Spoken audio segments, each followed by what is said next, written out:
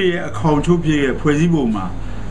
သူတို့မှာအတီလင်းပြတ်ထန်းထားတာရှိနေပြီဖြစ်တဲ့အတွက်ကြောင့်သူနှုတ်ကဘလောက်ပဲပြောပြောနှုတ်တရားစာတစ်လုံးကဖွဲ့စည်းပုံမှာသူတို့ပြတ်ထန်းထားတဲ့အတွက်ကြောင့်အချိန်မီသူတို့ပြန်ပြီးနောက်ပြန်လှည့်နိုင်တယ်ဆိုတာကိုလှည့်နိုင်တဲ့အခွင့်အရေးကသူတို့မှရှိထားပြီးဖြစ်ပြီလို့ပဲပြောအောင်ပါပဲအဲ့တော့ဟိုအာကျွန်တော်တို့မလှည့်ပါဘူးကျွန်တော်ပါဘယ်တော့ပဲဟလာဟို ကြမ်းကြိုင်ပြီးပြောနေလင့်ကစားခြေကဥပဒေရဲ့အခွင့်အရေးကိုသူတို့ရထားပြီးဖြစ်တယ်လို့ပြောရမှာပဲပြောင်းလဲမှုဆိုတာတော့အယုတ်ချီတော့မဖြစ်နိုင်သေးဘူးပေါ့နော်အတဖြည်းဖြည်းပြောင်းရင်ပြောင်းမှပဲဖြစ်နိုင်မယ်ဆိုရင်လေအဲ့ဒီ user ကြီးကိုအင်္ဂလိပ်ဘက်ကသိလက်မခံနိုင်ဘူးအဘယ်ပြောပြောဟိုခေတ်ချင်နေတဲ့တပြင်းကြီးနော်အပေါ်အောက်ကြောင်းလဲဖို့ ကြောင်းလဲလို့တဲ့ဆန္ဒတွေရှိမယ်ဆိုရင်အပြောင်းလဲလို့ဆောင်မှုဟာအပေါ်ပေါက်လာနိုင်တယ်ပေါ့အပေါ်အောက်ပြောင်းလဲလို့ရဲ့စိတ်ဆန္ဒတွေမရှိသေးသေးရတော့ပြောင်းလဲမှုဟာဘယ်လိုမှမျှော်လင့်ထားလို့မရဘူးပေါ့နော်ဒေါအောင်ဆန်းစုကြည်ဟာနော်ဒီတရားဥပဒေစိုးမိုးရေးမှာ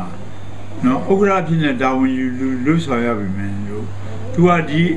တွေ့ရှိချက်တွေကိုလွတ်တော်ကိုပြန်တင်ပြရမှာဖြစ်တယ် သူလွတ်ပိုင်ခွင့်အာဏာဘာမှပေးထားတာမရှိဘူးသူကတာမန်ပြောရရင်တော့ဒါပြည်သူ့လွတ်တော်ကိုယ်စားလှယ်တူဦးနေနဲ့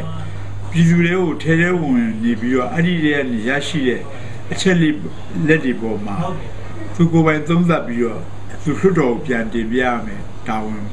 ဖြစ်တယ်အဲ့တော့လွတ်တော်ကသာလင်ဥပဒေပြုရမှာဖြစ်တယ်ဥပဒေတွေပြင်ရမှာဖြစ်တယ်ဆိုတော့ဒါတွေကိုသူဆောင်ကျင်းနိုင်ဖို့ ဒါသူဒါအဖြစ်မှန်ကိုလေးလာသုံးသပ်ဖို့ပဲသူကွင်းဆင်းတယ်လို့ပြောရမှာပေါ့ပတ်သက်တဲ့ကိစ္စကိုသူစဉ်းကြည့်တော့မယ်ဆိုရရဲ့မတိုင်မီတည်းရဲ့မှာ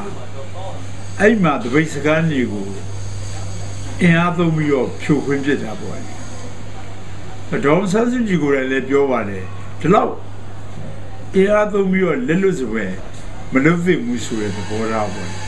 အဲ့ဒါတော့ကျွန်တော်တို့ထောက်ခံရမှာဖြစ်ပါတယ် ဘာဖြစ်လို့ဆိုဒီအင်အားသုံးပြီးတော့ဒီမိသားပိုက်ကြီးသုံးတယ်နောက်ပြီးတော့ဒီမီးလောင်လွယ်စေတဲ့နော်လက်လက်ပစ္စည်းတွေသုံးတယ်ဆိုတာဘယ်ပေါ်မှာသုံးလဲဆိုတော့လက်လက်ကန်ရဲ့ရန်သူချင်းချင်းဆိုရင်သူဘယ်လောက်သုံးမလဲဆိုတာခံမှန်းကြည့်လို့ရတယ်ဒီငြိမ်းချမ်းစွာဟာလာဆန္ဒထုတ်ဖော်နေတဲ့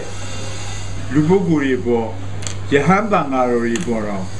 သူတို့ဒီလိုမီးလောင်စေတဲ့လက်လက်ပစ္စည်းမျိုးတွေအသုံးပြုတာဖြစ်ရင်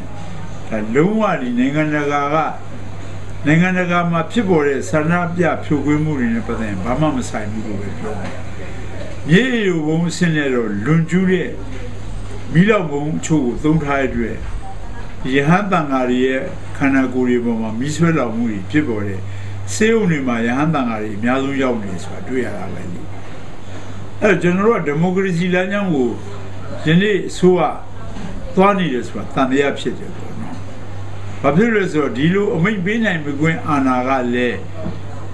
ဒါပြည်ထောင်ရေးဝန်ကြီးဌာနမှာပဲရှိတယ်။ပြည်ထောင်ရေးဝန်ကြီးဌာနရဲ့ပြည်ထောင်ရေးဝန်ကြီးရဲ့အနှင်းမှုပေါ်မှာအောက်ခြေကနော်တာဝန်ရှိသူတွေဆောင်ရွက်ရတယ်ဖြစ်တဲ့ကြောင့်လုံးဝအုပ်စုံတာဝန်ရှိတာတော့ပြည်ထောင်ရေးဝန်ကြီးမှာတာဝန်ရှိဆုံးလို့ပဲပြောအောင်။ အဲ့ပြည်ထောင်ရေးဝန်ကြီးအဆင့်နဲ့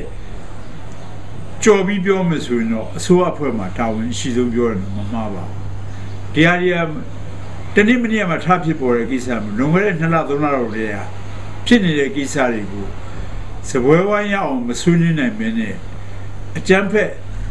တိုက်ခိုက်ဖြိုခွဲတာအဖြစ်ဒါပြည်သူလူထုရဲ့အတံကိုနားထောင်တာမဟုတ်ဘူးပြည်သူလူထုရဲ့ငြိမ်းချမ်းစွာဆန္ဒ ထုတ်ဖော်မှုကိုဖြိုခွင်းနေဆိုတဲ့သဘောတက်ရောက်တဲ့အတွက်နောင်ချီဓာတ်နဲ့ကြီးမားတဲ့ဆန္ဒပြမှုတွေပုံမပြီးတော့ပူပေါင်းလာနိုင်တယ်ပုံမပေါ်ပေါက်လာနိုင်တယ်လို့ထင်မြင်ယူဆမိပါတယ်